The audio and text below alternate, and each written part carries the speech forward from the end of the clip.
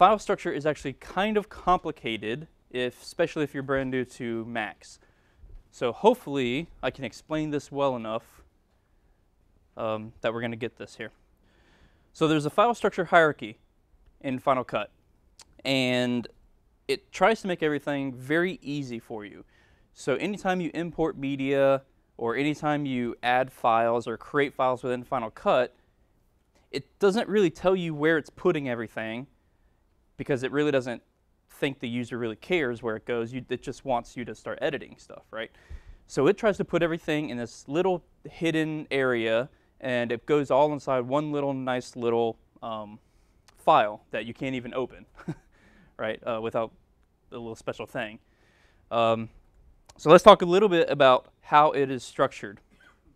So the first thing is you have media and projects. Okay, so when I say media, I'm talking about things like raw video and audio files, right? So things that you uh, either create in Motion, you know, which is a graphics program on your computers, or you uh, import from your cameras, right? Or you download something from the internet, you know, a video. These are raw video and audio files.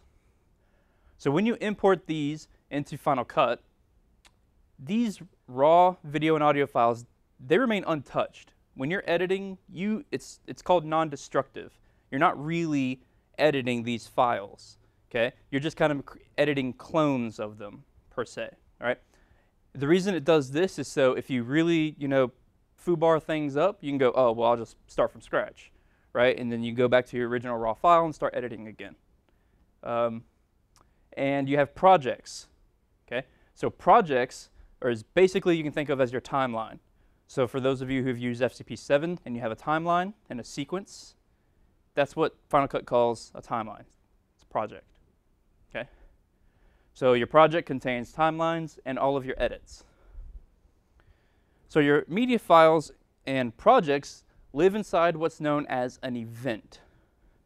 Okay? Brand new terminology for Final Cut Pro. So what is an event? Well, you can have 1, 2, 18, 34 events. Okay, it doesn't matter. You can have as many as you want. Um, what people usually do is they title their events by date. So let's say I'm going to work on my news show for September 17th. I'll call it 09-17-16, right? I'm going to work on my show for the 19th, 09-19-16. Um, and it does everything by alphabetical order, so it's kind of nice to keep everything titled that way. Uh, people usually name the events uh, the month, so like September. Okay, so you would have a September event, and inside those, uh, you would have all your projects called 9, 17, 17, or 16, and so on. Well, so events have a place where they live, and that's called a library. So what is a library? Well, you can have 1, 2, 18, 34, 96, however many libraries you want. However, what makes the library different than all this is this is that file I was talking about earlier that it kind of puts in a, in a place and it holds all of this media stuff. So people usually make a library um, either a year or a month, depending on how you want to segment your, uh, your files. I think most people name, name their library a month and then they name the event the day that they're working on. I, uh, I think that's the way they typically do it, um, which I have here titled by month. So again, for instance, you'd have a library named September, um, then you'd have an event named you know September 17th, and then you'd do all your show and all your projects and all that inside your event, and it all houses in the library. So again, libraries, uh, when you create a new library, it will ask you where to store it. Libraries can be stored anywhere. Uh, it defaults to the currently logged in user's movies folder. It's perfectly fine to leave it there, uh, if, especially if everybody only uses the same user on the computer. It's perfectly fine to leave it there. Um, but notice if your computer crashes or whatever, that library is probably going to be gone. If you know, if the, the, hard drive needs to be wiped or the hard drive dies or something, that library is po possibly gone. So what a lot of people like to do is put their libraries on an external hard drive. Yep, so they can be stored anywhere and they are portable as long as all the media is inside of them. So there's an option when you import media, which we'll go over, that says copy to event. When you make sure you have that selected, it goes inside the event, which remember the event lives inside the library, so everything gets contained. It's a really nice, easy way to not lose footage on your computer or whatever. Uh, for those that were in no FCP7 land, how often did you get, you know, media not found or something like that, right? FCPX solves that problem. It's pretty nice. So again, you're not limited to the number of events stored in a library. So just to reiterate, libraries, people usually name them by day, uh, month. So then they'll have, you know, up to 30 events in a library.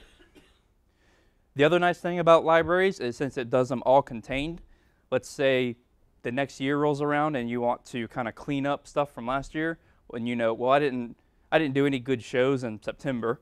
Well, you can just take that September library, drag it to the trash. It'll probably free up, you know, a terabyte of storage. right. So uh, libraries in, inside Final Cut, they can be opened, closed, renamed, or backed up at any time. So once you start working throughout the year and you have, you know, nine, eight months, however long the school year is, sometimes it can be kind of annoying. Maybe you don't need to see January when it's September, right? So you can close that library. It's not deleting it. It's not doing anything to it. It just kind of hides it from the program so you can't uh, accidentally select or import something to the wrong library. So here's a quick screenshot of the file structure hierarchy in Final Cut.